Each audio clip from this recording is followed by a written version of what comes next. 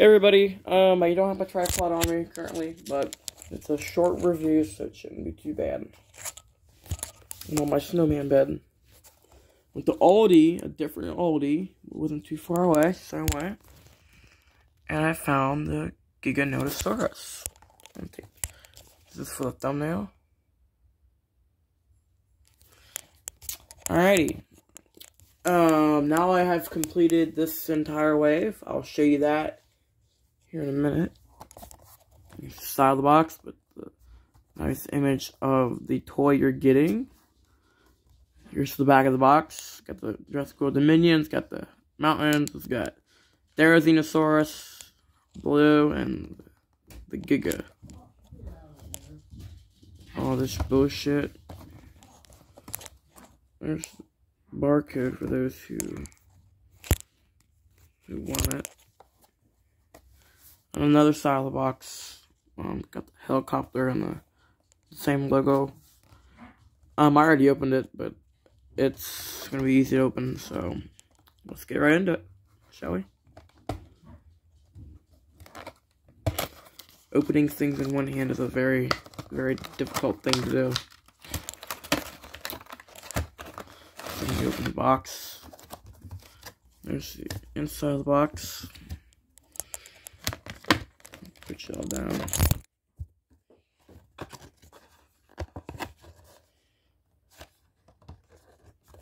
Sorry if you hear my dog. He's coughing up his lungs. I I don't know why, but he's just doing it. I'm trying to open up the box without, you know, rip, ripping it, because everyone does that.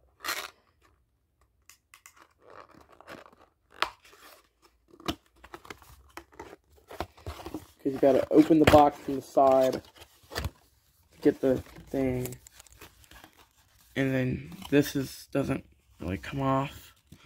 Yeah, scissors, anything can come off.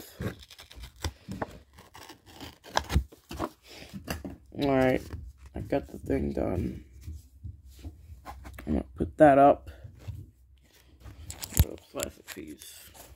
Alright, here's the Giganotosaurus six inch basic figures. Now, go to Aldi for these. Meijer will not sell these to you at all. These are found in the Easter goods. The sculpt is really good. The paint is for a $4. I paid like 4 bucks for this. So you really can't expect a whole lot for $4.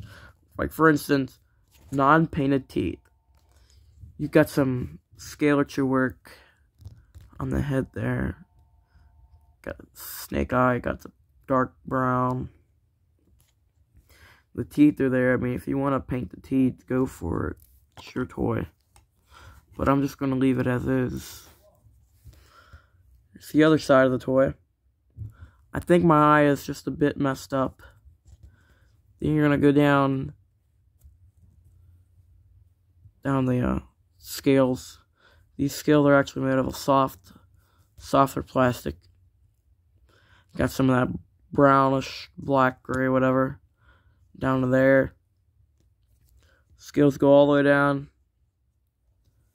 And then stops at the tail. Um, the head doesn't move any any shape, way, or form. Arms do move. Of course, the, the claws aren't painted, but that's okay for a basic figure. Um, you got some, like, red speckles all over the body. There's the feet. There's no scan code on these.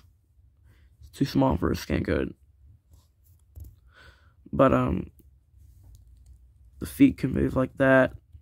While the legs.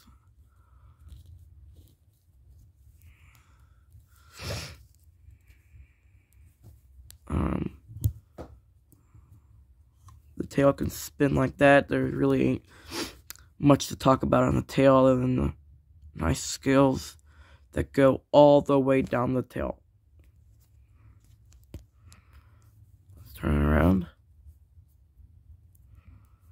Put arms down like that. Good look at it from the other side. It's also got some um, sc scratches, healed, like, oh, crap. scratches like all over his, his leg. He's got some on his, he's got a few on his face. And there's one right here. I think. There's more on the legs. There's some, all, they're all over the body. Well, there's no paint underneath, just a, a, a, little bit of paint. But the the spikes are actually a different piece. But um, here's what it looks like in the little diorama that you get. Looks good. Kind of have him up like that, about to roar. He, he's looking out. Yeah, that's it for this review. Hope you all enjoyed. Oh, wait. Okay, here they are next to the rest of the wave.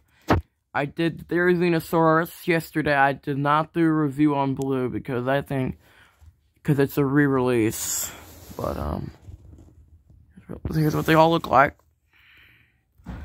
So I have a whole playlist of Jurassic World videos by yours truly. you want to go check those out, you can definitely feel free to do so.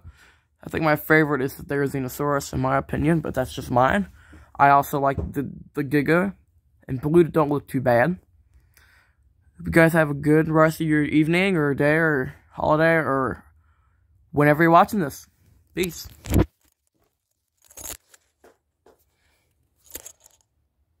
Oh, I to turn it off.